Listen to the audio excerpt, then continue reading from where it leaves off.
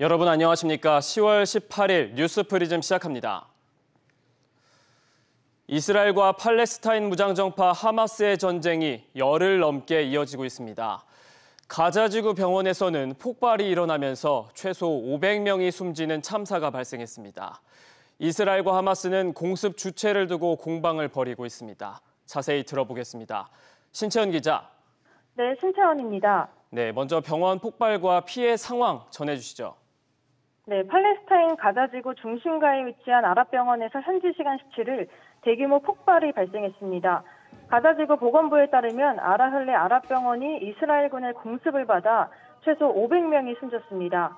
보건부가 수백 명이 다치고 수백 명의 희생자가 아직 건물 잔해 밑에 있다고 전한 만큼 사망자는 늘어날 걸로 보입니다. 하마스는 끔찍한 학살이자 명백한 전쟁 범죄라고 이스라엘을 비난했습니다.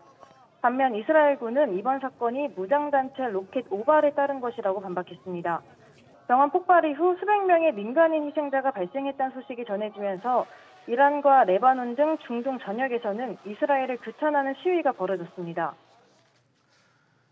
지금까지 확인된 인명 피해 규모는 얼마나 됩니까? 네, 하마스의 기습 공격 이후 이스라엘의 보복 공습이 이어지면서 가자지구에선 3천 명 넘게 숨졌습니다. 가자지구 보건부에 따르면 부상자는 12,500명에 달합니다. 한편 하마스가 최근 민간인 인질 영상을 공개하면서 파장이 커지고 있습니다. She looks very terrified. I'm begging the world to bring my baby back home. 하마스는 가자 지구에서 200명이 넘는 인질을 붙잡고 있다고 주장했습니다. SBS 피지 신채원입니다.